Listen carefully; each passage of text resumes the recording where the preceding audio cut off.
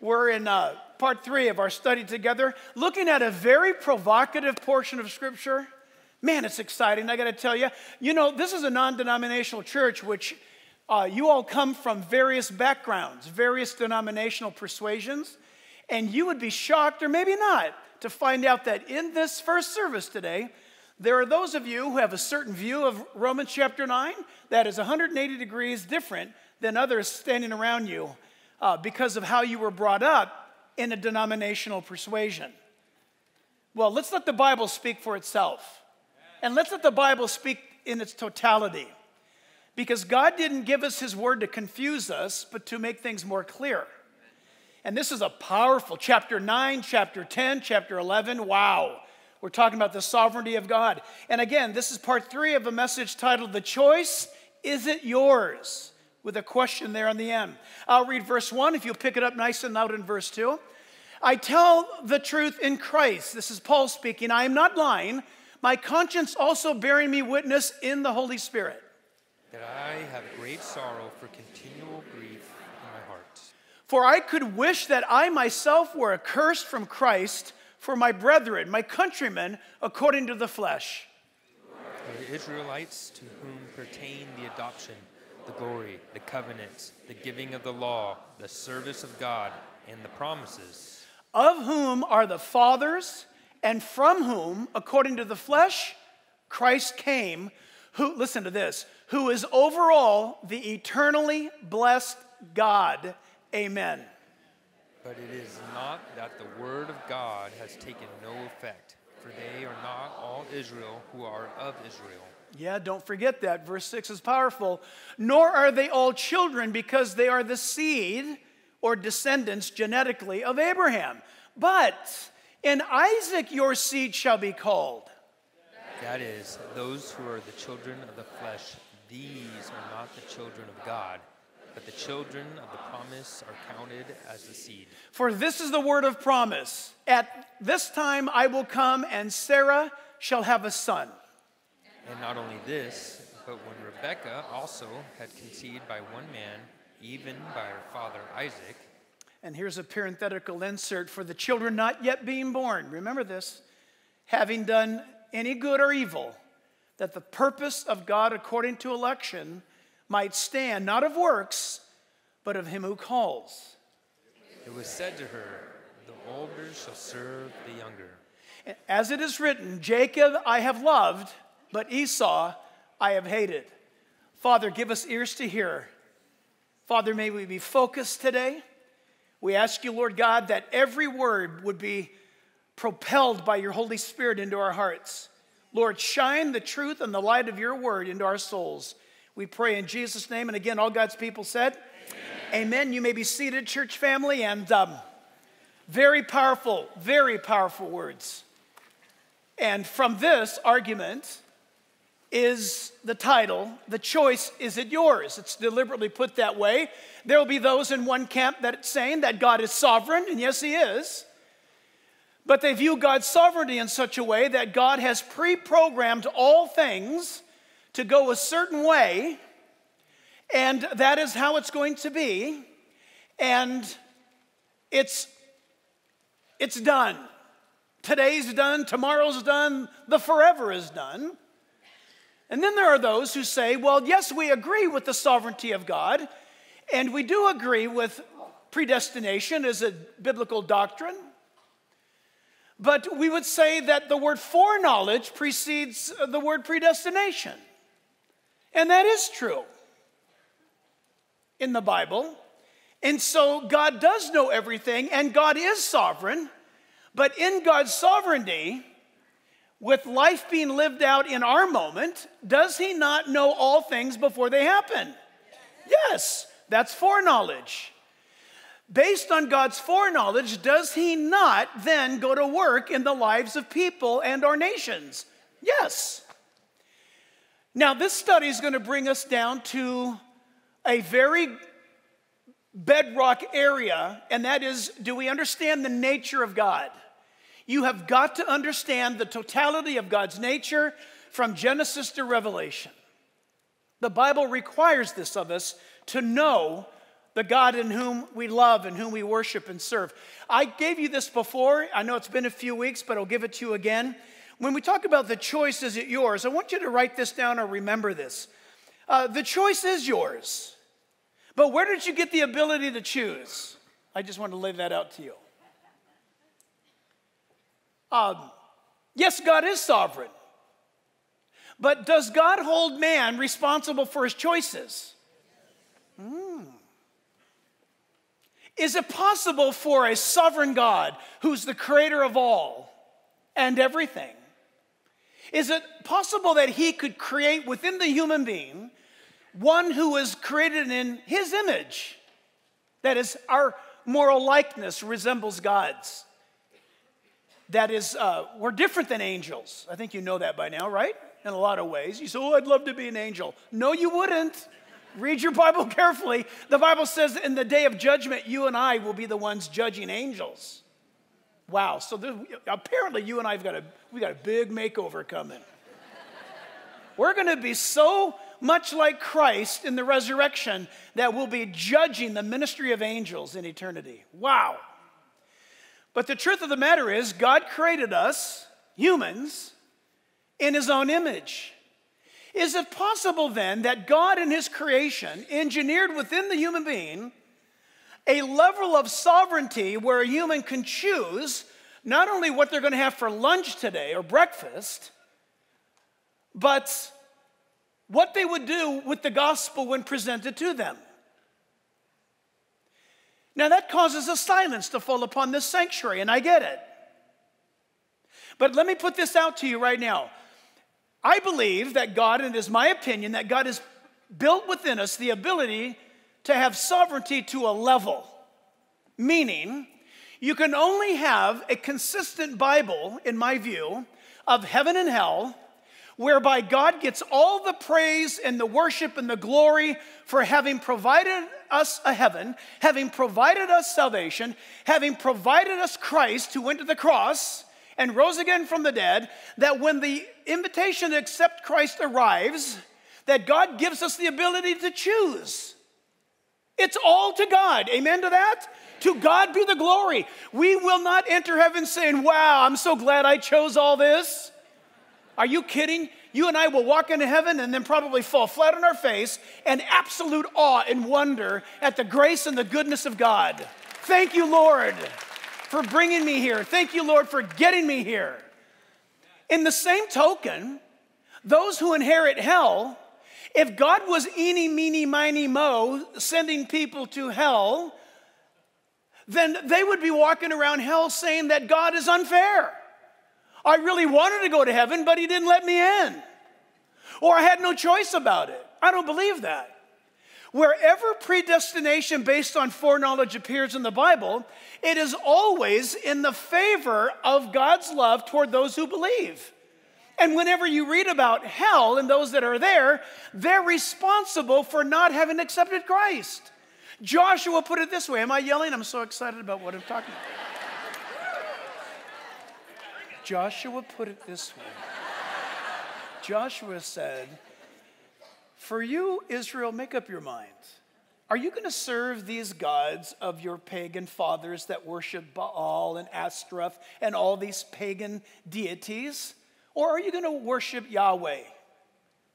Choose today whom you shall serve. If God determined in advance those who would go to hell based upon his choosing, then what was Joshua talking about? You see, I believe those that are in hell today are in hell because they chose to go there and they're responsible for being there. And that's what makes hell justifiable in their rejection of so great a salvation. I hope that makes sense. I hope so. So, church family, writing these down if you would, and we'll jump back into our series. The sovereignty of God is, is predicted and predicated upon the love of God. Ephesians chapter 1, verses 4 through 5 says, Just as He chose us in Him, watch this just as He chose us in Him, just as God the Father chose us in Christ when?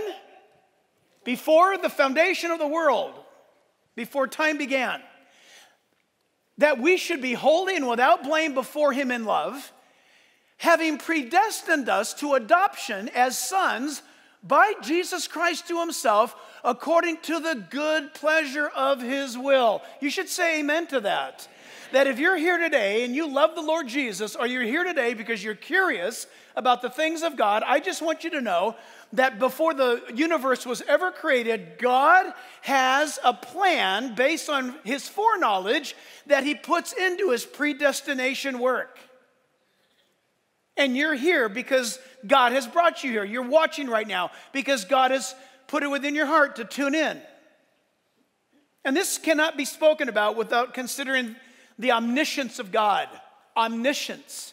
It's a big word, uh, its meaning is bigger. The omniscience of God is that the God of the Bible knows all things. Watch this. He knows all things, and He knows all things in the now. He lives in the eternal now. That means He's never learned anything.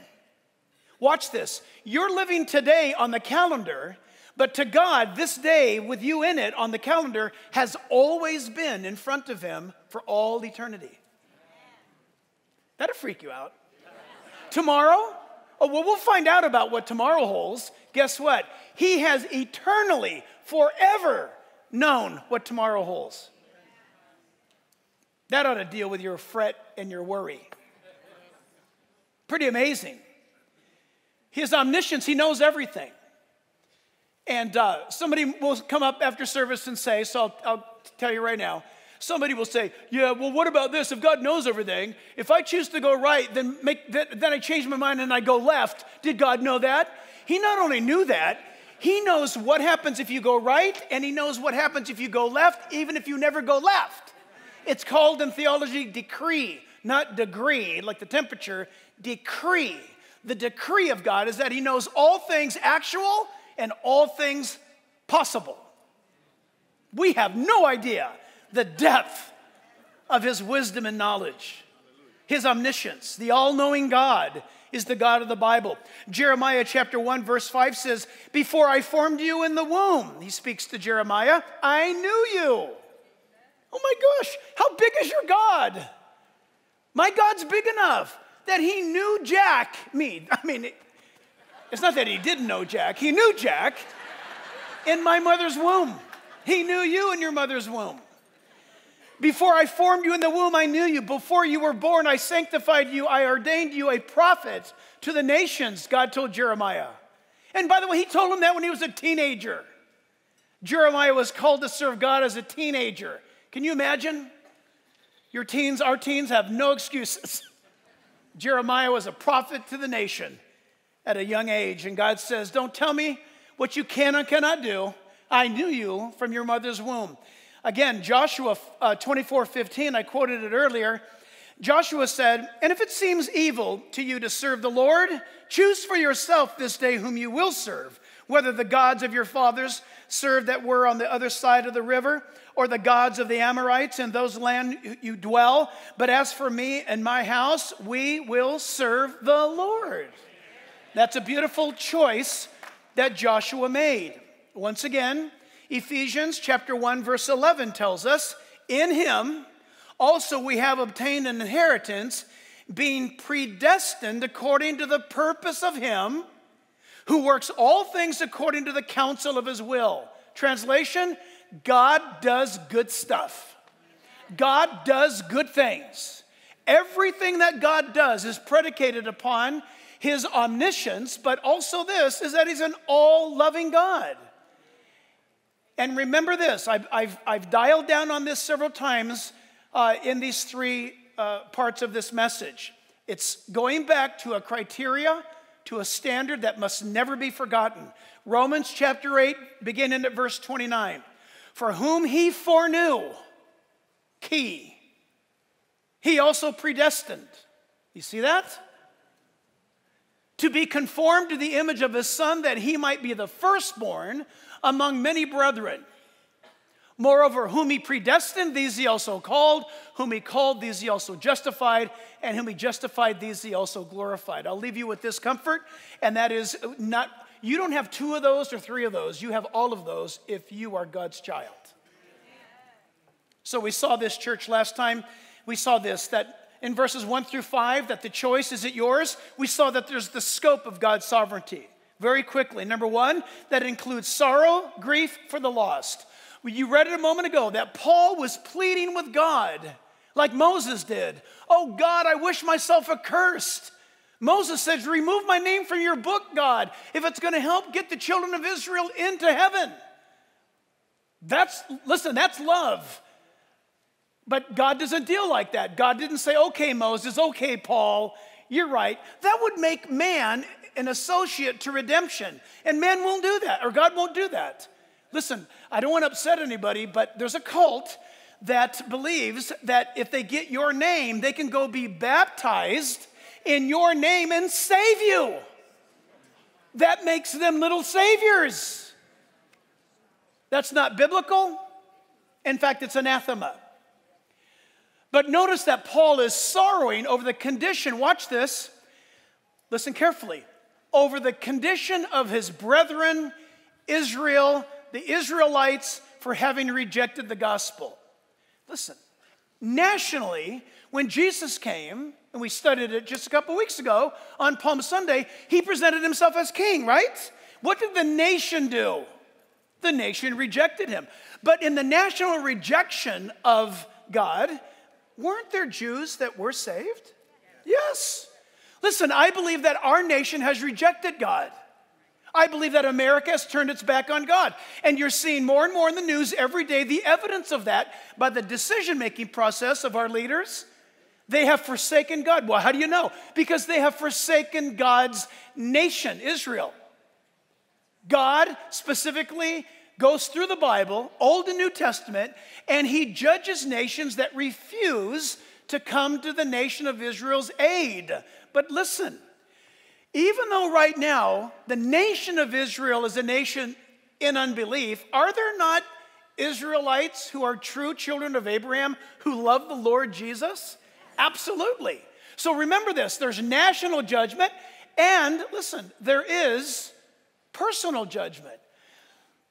A nation can be judged, and yet individuals can be saved. Israel was taken into captivity, but Daniel was a man who loved the Lord. You need to remember that. America is probably, has seen its best days, and what is ahead of us is probably the righteous judgment of God. That doesn't mean that your family or your life is going to be judged. As a believer, our judgment took place at the cross.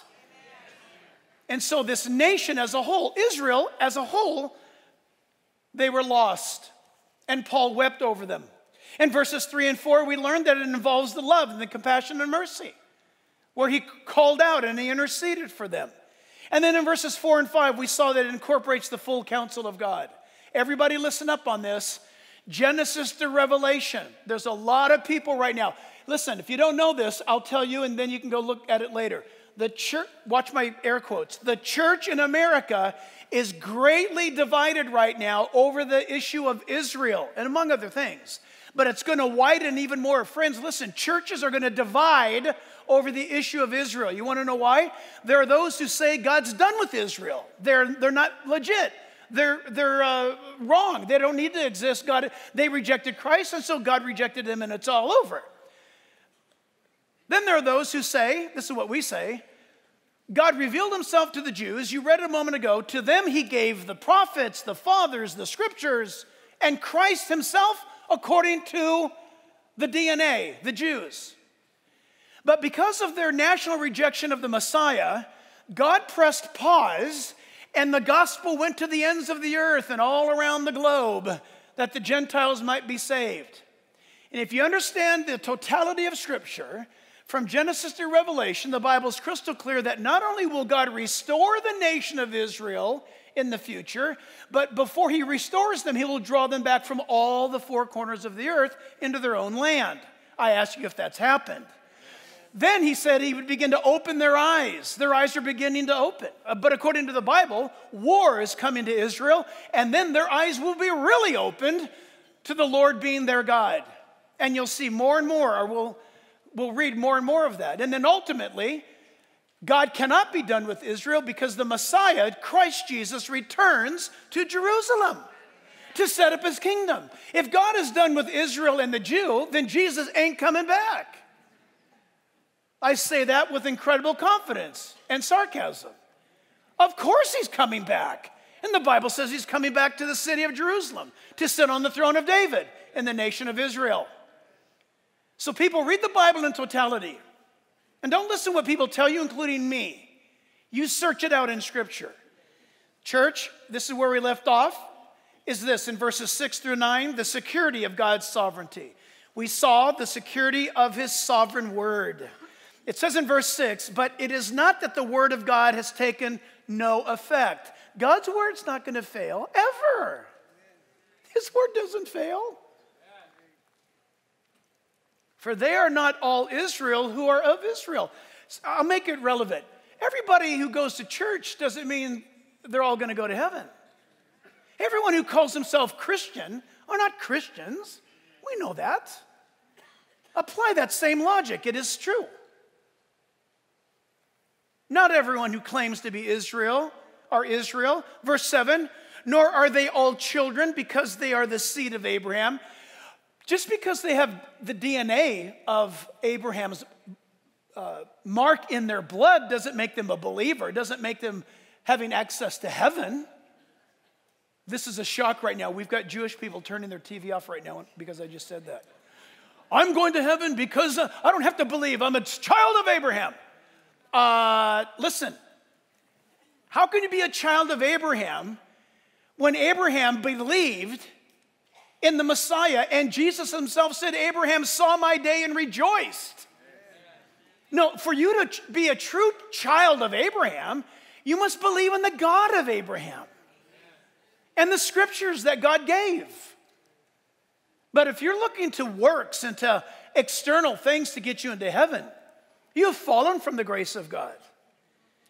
We also learn this that the security of his sovereign promise, verse 8, that is, that those who are the children of the flesh, these are not the children of God. Wow, just that front end, children of the flesh. Go read uh, Galatians chapter 5 and 6. Yikes. Who are the children of the flesh? Well, you can read in Galatians and see their attributes.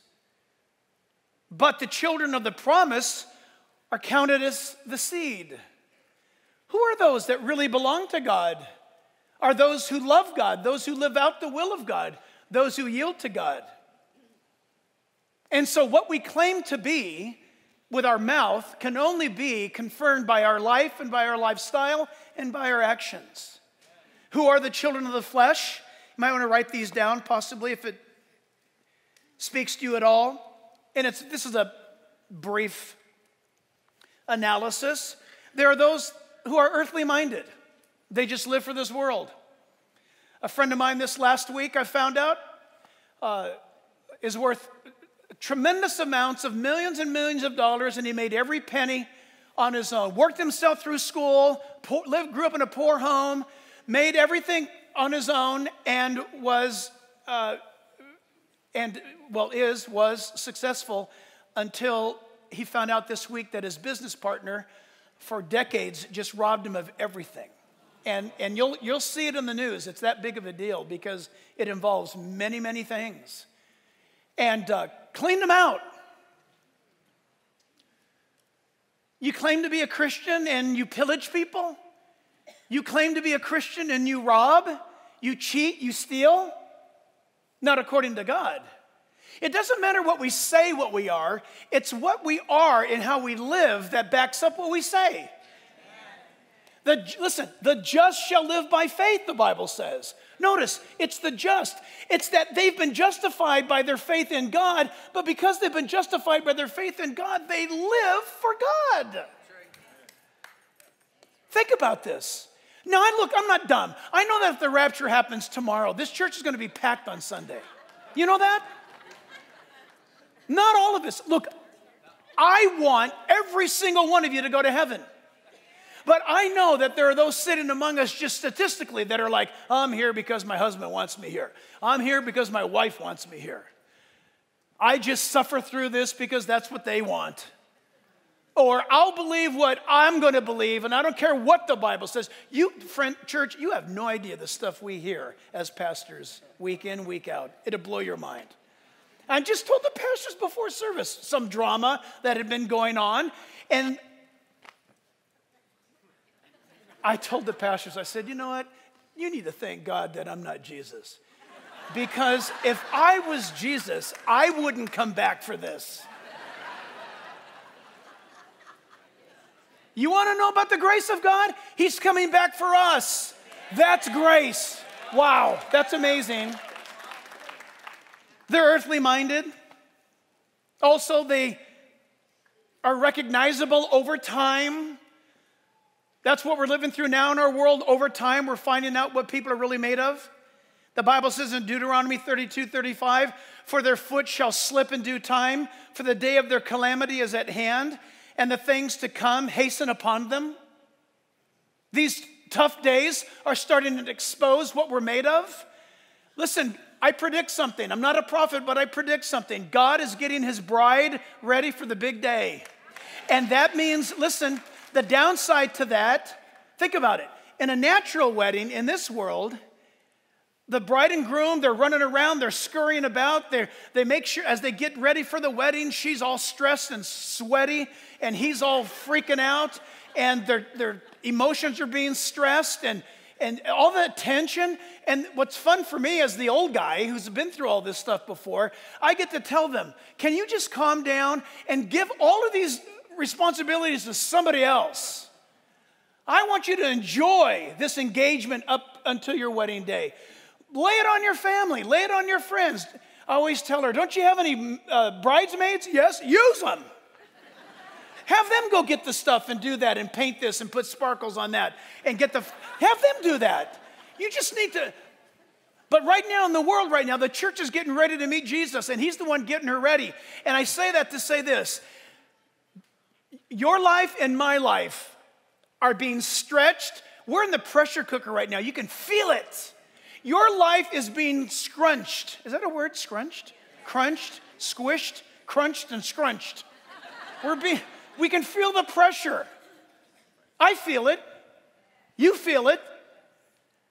God is preparing, He's not destroying you, He's preparing you. He's, listen, right now, let's be honest, the things of this world, like the salt, like the old hymn, are growing strangely dim. Things that used to get me excited, or even things before that used to be a temptation, now it's like, that's a joke. Get out of my face. Right? Because this world has got no taste anymore in our mouth if you're a child of God. Also, their pride is showing. They're proud of themselves. They might be proud of their religion. They're self dependent. They are comfortable with their lifestyle, whatever it is. They just write it off and say, God, God hasn't done anything about it. He's, he's good with it. What about those who are the children of God? Children of God are fixated and mindful about heaven. Heaven's real, it's actually there. We're going to it. We need to think about heaven more. They also recognize and are recognizable over time. They're not proud of themselves, but of God. Don't you make you sick? I make me sick. You're not my problem, I am my problem. Only a Christian knows what I'm talking about right now. We're very wary of religious things, legalism, things like that. Being dependent upon a person or a group rather than on Jesus. We're God dependent, are we not?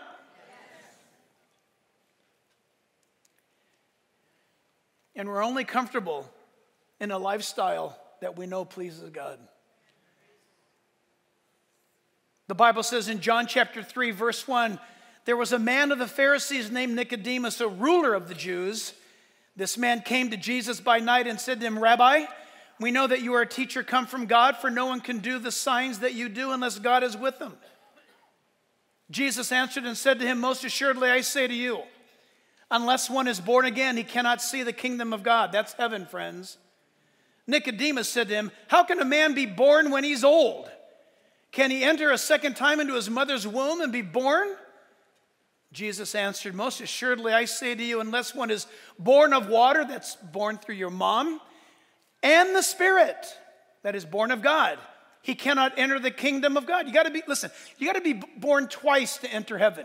Born into this world, you've been given life. Born again a second time is how you're born into the family of God. I think it's uh, Dr. Grey Barnhouse that says, and I'll probably flub it up, but it goes something like this the Bible tells us that if we're born twice, we only have to die once. But if we're only born once, we have to die twice. Because if you're only born into this world, you suffer a spiritual or physical death, and then you suffer a spiritual death. But if you're born into this world and then you're born again into the family of God, then you only die a physical death. And that's easy, apparently, to the equation of God. Wow. But he goes on, he speaks to the great Nicodemus, the great scholar of Israel. Verse 6 That which is born of the flesh is flesh, and that which is born of the spirit is spirit. Do not marvel that I said to you, You must be born again. I kind of see verse 7 with Nicodemus's jaw hanging down.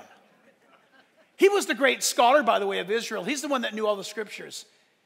And this shouldn't have been a surprise because according to Jeremiah 31 and according to Ezekiel 36, Nicodemus knew those passages. And in those passages is the born again doctrine. And Jesus held Nicodemus responsible to know his Bible. But it's God who keeps his promises, no one else is able. The security of his sovereign promise is that God keeps his promises. I don't know much in this world anymore. But I hang on to God's promises because He's faithful. And listen, did God make Israel promises that He said are unconditional and forever? Yes.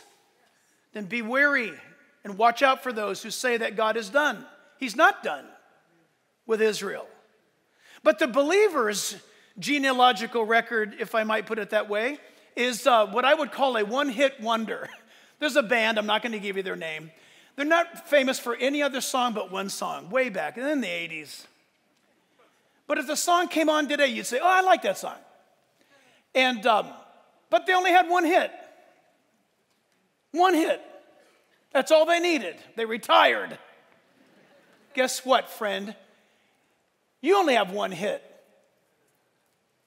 Our salvation in Christ Jesus is a one hit wonder. Nothing else needs to come after it. Nothing else needs to fill in the gap. Nothing else needs to provide. And here it goes it's this way. In John chapter 1, verse 10, the Bible says, He was in the world, and the world was made through him, and the world did not know him. What a sad statement. Verse 11, He came to His own, and His own did not receive him. That's the Jewish nation. But as many as received him, notice the word as many. Do you think that as many applies to Jew or Gentile? Who? Good for you. All, both, everybody. Anyone, everyone. But as many as received him, to them gave uh, the, the, he the right to become children of God to those who believe in his name, who were born not of blood, nor of the will of the flesh, nor of the will of man, but of God. Friend, have you been born of God? If you have, you know it. If you're not sure, you haven't. It's that simple. God's not playing a, a, guessing game. He's not moving, you know, the ping pong around with the ball, you know, the cup on top of the ping pong, and guess which one's in it. And if you guess the right one, you'll go to heaven. He's not doing that. If anything, God puts either puts three cups out there with three ping pong balls in the cup, or he just gives you one cup with one ping pong ball in it. And then he says, pick. he makes it simple. Numbers chapter 23, verse 19. God is not a man, so he does not lie. He's not a human, so he does not change his mind. Has he ever spoken and failed to act? Has he ever promised and not carried it through? I love that. Thirdly, under this point, everybody, is this is the security of his sovereign acts. God's sovereign acts. What he does, God's sovereign actions. Verse 9. And for this, uh, for this is the word of promise. At this time I will come, and Sarah shall have a son. That's what God spoke to Abraham and to Sarah. Genesis 18 25, the Bible tells us, Shall not the judge of all the earth do right? When God told Sarah and Abraham they're going to have a child, God, listen, this is hard for us to handle in our day and age where words don't seem to matter anymore. When God says something, He's bound to it. Now, He's not worried about that because He only speaks truth. That's all He can do is speak truth. He's perfect. But just know this God, who is perfect, what He has spoken, He must perform. So when you come to a promise in the Bible, God wants you to circle it, highlight it, write your name next to it, photocopy it, take a picture of it, email it to yourself, get a t shirt made of it, but immerse yourself in it. When you read the Bible and this verse jumps out at you or this passage jumps out at you and ministers to you, grab onto it with claws. And it happens like this you're reading and reading, and life has got its issues, and you're going through your thing, and then that verse jumps out. That's it. Grab it. Here's what you do you grab it and pray. Pray that verse and then say, God, I, you, you spoke this to me. I didn't make this up. God, you gave me this. I didn't write this book. You gave it to me. And God, I'm hanging on to this promise. I don't see it, I don't feel it, but you said it. And God, I'm going to grab it and hang on to that. And He's faithful. The sovereignty of God's promises. When God says He acts and He's going to act, He's going to do it. He's awesome. And you can be bold about that very truth. Sarah, imagine Sarah, the woman, the wife, she's amazing. You know, we pick on her because she, she caved in. I get it. She, get, she got impatient. But let's be honest. I can't even say she got impatient, even though the Bible says she got impatient. You guys, years went by. God made the promise, and years went by. So she's thinking, look, can you imagine? She looks in the mirror. If I'm wrinkled this bad on the outside, I ain't having no baby. Looks like God needs help. Abraham, yes, sweetie? I want you to take my maid, Hagar. You sleep with her, and then we'll adopt a kid, and I'll, I'll catch the baby, and then it'll be like ours. Abraham, the great man of faith that he was, said, All right.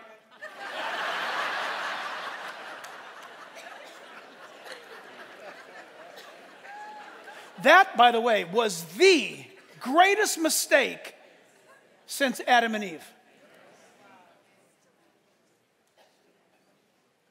You know, there's war in the Middle East right now because of Abraham. Well, I, well, it, I mean, Sarah too. It was her dumb idea. But then Abraham, I'm right on it. Gee whiz, really? But the truth of God's incredible sovereign acts, that God moves and He does all things right.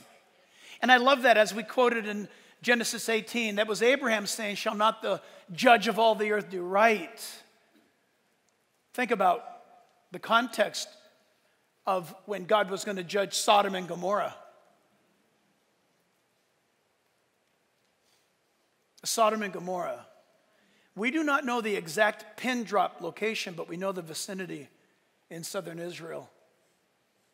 You can go to the region, you can drive around it. You can't say this is the spot, but you can say within this 10 square mile area, this was the spot. It is the most cursed looking soil on the earth. The, nobody goes there except Christians to point out this is where Sodom and Gomorrah used to be. You can't plant a weed there, it will not grow. And the Bible says that it was absolutely like Eden.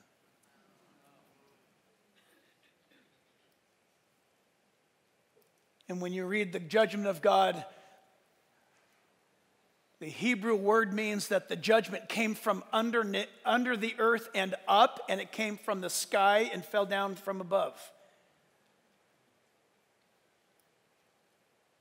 Those aberrant, perverted cultures of Sodom and Gomorrah were caught between the firestorm of God's wrath and judgment. And Abraham said, Shall not the judge of all the earth do right? Do you have a hard time with that? I understand that. I believe God has a harder time with it than anybody. But God is holy and just, and when God judges evil, He's holy and pure. Friends, you will not wag your finger at God if God chooses to humble America for what America's done to Israel this week. You will not say, Why is this happening? If God shakes this nation, the believer who knows their Bible will say, Lord, have mercy in your holy, righteous judgment. Have mercy upon us, O God. Shall not the judge of all the earth do right? Yes, he will. He is sovereign, and his actions are absolutely holy. His sovereign act, as we're talking about, selecting electing, choosing, the fact that his promise would come through Sarah, not Hagar, but through Sarah, was all based on his sovereign foreknowledge. And I'm wondering how you respond to this invitation. Listen carefully, we're going to run through these fast. God is sovereign. And yet, listen to this Matthew 11, 28. Come to me, all you who labor and are heavy laden, and I'll give you rest. Come to me, Jesus said. I believe God built within you the decision of choice. Matthew 19, 14. Let the little children come to me. Do not forbid them, for of such is the kingdom of heaven. John 6, 37. All that the Father gives me, come to me. And the one who comes to me, I will by no means cast out. Isn't that beautiful? Oh, that's refreshing. John 6, verse 65. Therefore, I have said to you that no one can come to me unless it has been granted to him by my Father. Predestination based on foreknowledge. John 7 37. On the last day, the great day of the feast, Jesus stood and cried out, saying, If anyone thirst, let him come to me and drink. And then I just wrote this in my notes. I just called it a self test. John 5, verse 40. Very sad. But you are not willing to come to me that you may have life. He said that to the Pharisees. Listen, friends, again, if God has not sovereignly built into us the ability to choose, then what is Jesus talking about in John 5:40? He says to them, You're not willing to come to me and be saved. Who's responsible for that? God provide are you with are you guys with me? God provided the way of salvation. They rejected it, and Jesus says, You're not willing. That implies that they could be willing. You say, Jack, that's blowing my mind. Yes, but with God's foreknowledge, He knows everything all at once. Isn't it amazing that in this room, God knows those who are going to enter into heaven on that day and those who are going to enter into hell on that day?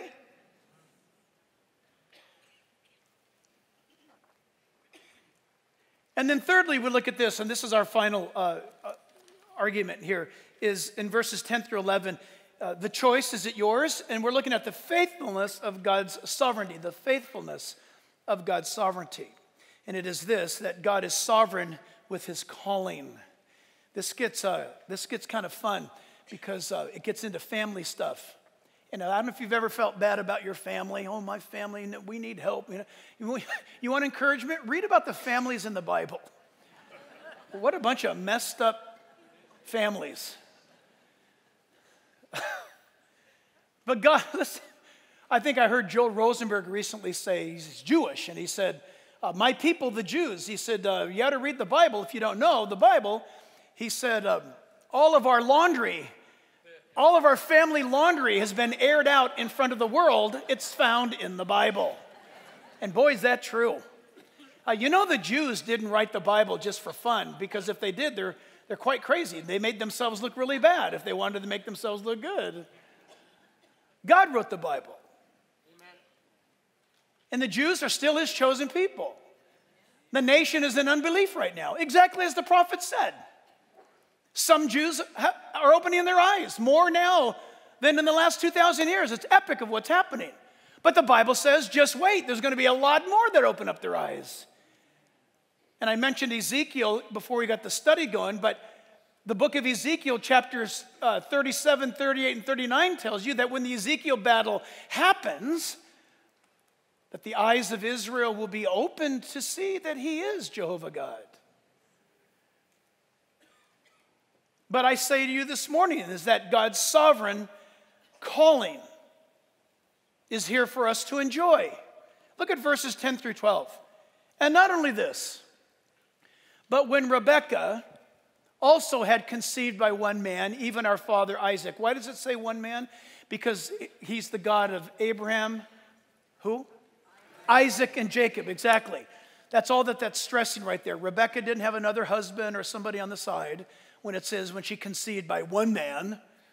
It's Isaac. He's the man. For the children not yet being born. So pregnant within Rebecca is Jacob and Esau. They're not even born yet, nor having done any good or evil. See, you and I are stuck on what we see in the moment. The kids haven't even been born yet, they're in the womb. They haven't done any good or any evil.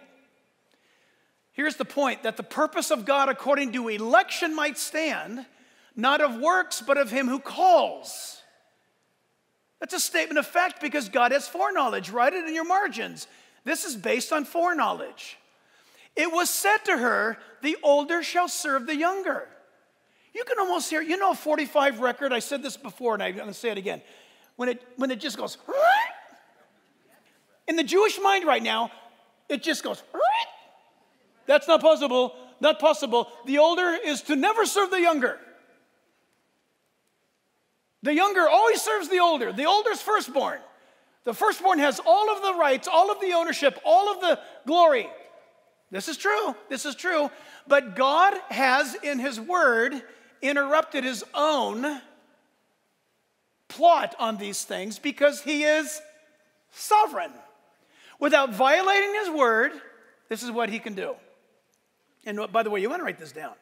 It's happened several times in Scripture where God has the younger preside over the older. Uh, Joseph, remember Joseph? What about this? In the case of Judah, he was not the oldest son of Leah. Reuben was the oldest son in Genesis 49, but Judah's the one that's selected. Hey, what about David? You don't know anything about David's brothers, or very little. David was the baby in the family. David turned out to be the king of Israel, the youngest. It's up to God's calling, friends. It's what he decides. And the faithfulness of God's sovereignty is seen this way that his calling is placed upon you, upon me. God calls. You might say, Well, Jack, how do I know if God's calling? That's a great question. God has his sovereign purposes that he's going to achieve and fulfill. And God is desiring to do that through those who believe in him. If you say today, I believe in him, friend, you just set yourself out from among the rest of the world. Listen, maybe it's best some of you not say that anymore unless you know it for sure. Because if we say, I know God, now we are out away from the crowd. We have identified with God which means now everyone has the opportunity to watch your life and see your life to see if you are truly a child of God. That shouldn't make you nervous. It should make you, what's the old King James word? It should make you be circumspect. Anybody know what that word means anymore? That's right. Walk straight, to be straight up, to walk straight, circumspect.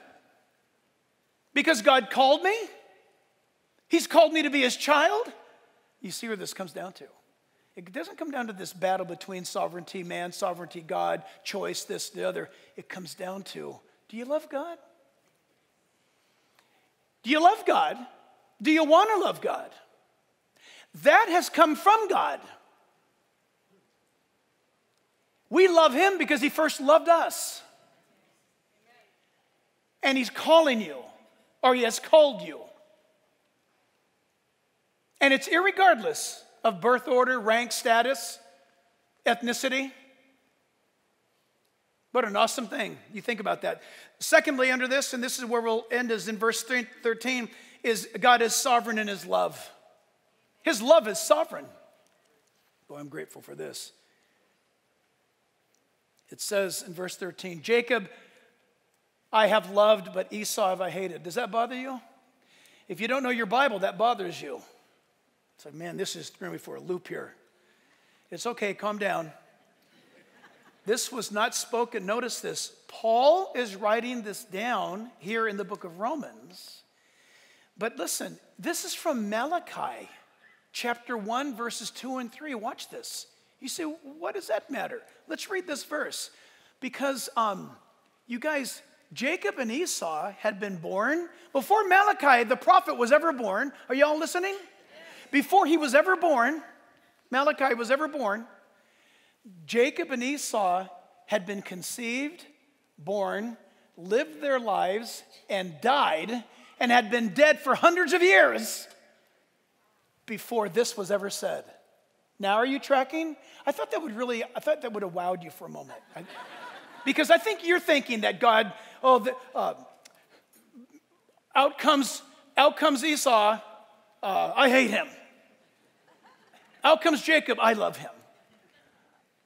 That's not how it happened. Can I put it this way? In carnal terms, I don't mean sinful, but earthly speaking, this is God's review of the two lives of the men, Esau and Jacob, long after they had lived their lives and had entered into eternity. Then God delivers his assessment. Is that okay? Everybody got that? I think I lost you a long time ago. I have loved you, says the Lord. Yet you say, In what way have you loved us? This is God speaking to Israel. God says, I loved you. They say to him, In what way? Was not Esau Jacob's brother? Yeah, says the Lord. Yet Jacob I, I, I have loved, but Esau I have hated. God is saying to the nation, in these two boys are nations. Esau, from him came the Edomites.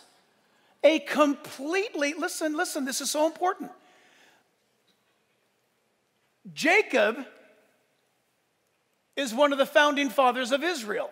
In fact, his name will later be changed to Israel himself. The Israelites come from Jacob.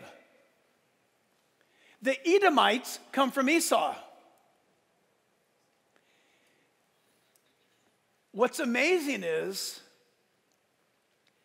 did they share, listen carefully,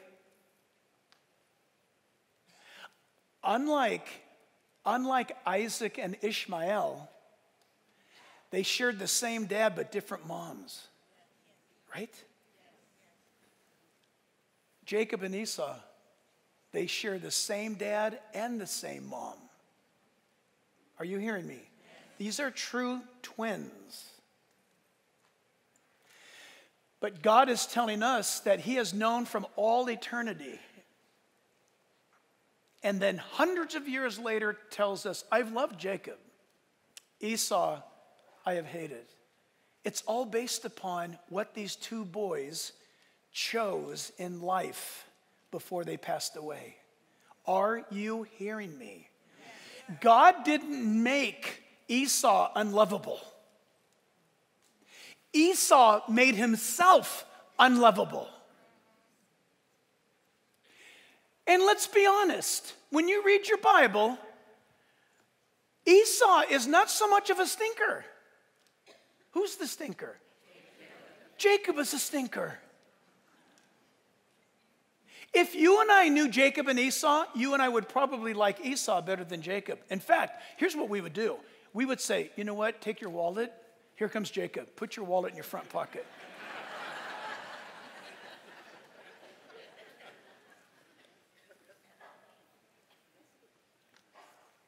but listen, do you know why God says, I love Jacob? Oh man, I, I, I pray that the Lord gets this across to all of us. It's so profoundly factual that God is not determining heaven and hell or blessings or cursings based upon a person's performance. Because if that were the case, Jacob and Esau both would be wiped off the face of the planet.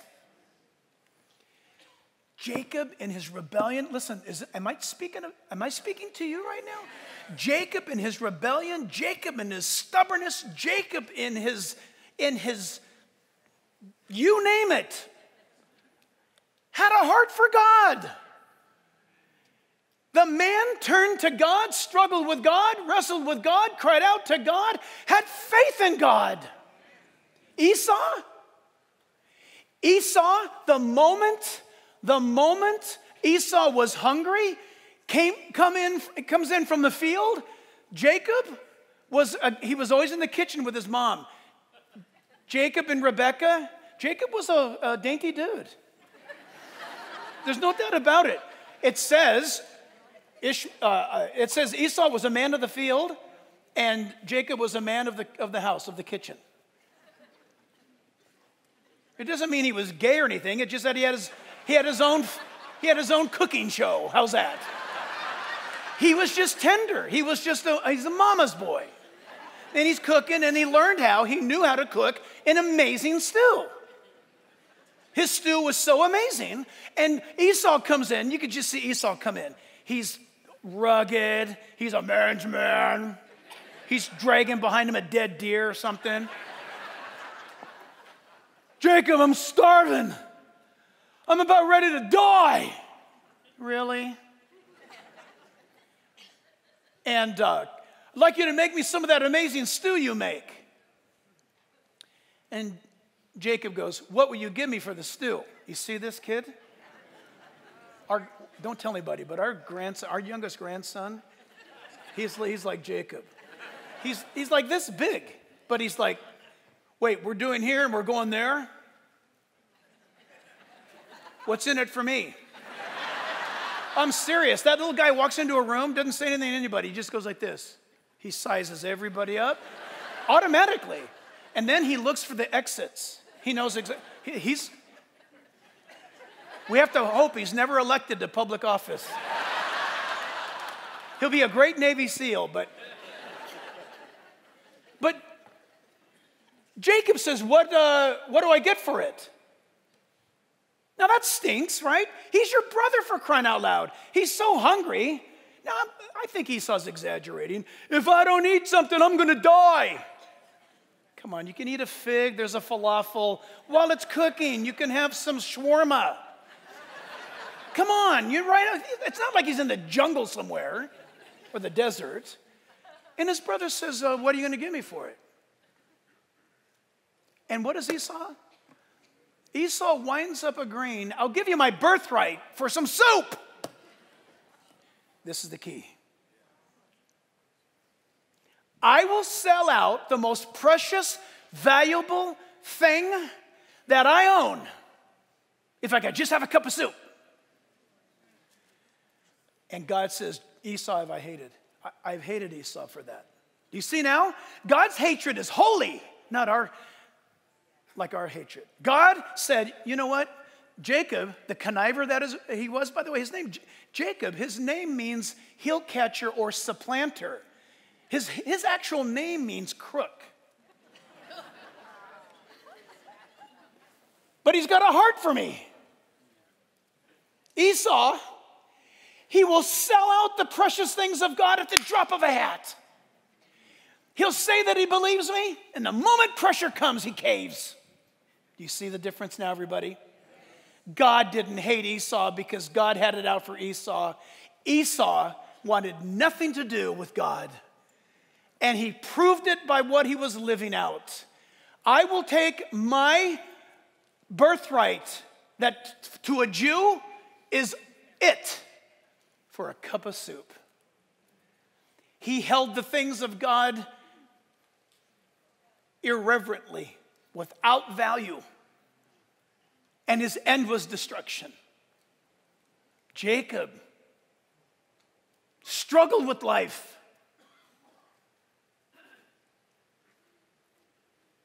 Wound up in the end having a profound heart for God. May we check our hearts to make sure we are for real. In this time of trial, church family, be still and know that He is God.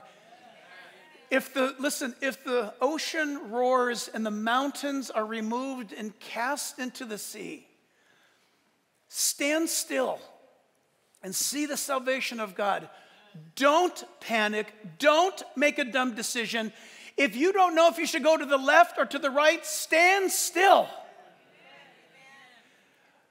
And the pressures, the ideas, the words, the thoughts that are now invading your heart and your mind and your family, don't give them, as Paul said, we would not give false teachers one hour of opportunity. Don't give those crazy temptations and attacks one hour, one moment. The Lord is coming, the earth is shaking. Jesus is on his throne, and you and I will be tempted and pressured to cave in on our commitment with God. Don't do it. I would shout today, as Moses did to the children of Israel Stand still and see the salvation of the Lord. And then God said to Moses, Yeah, that's fine, but Moses, tell the people to cross over.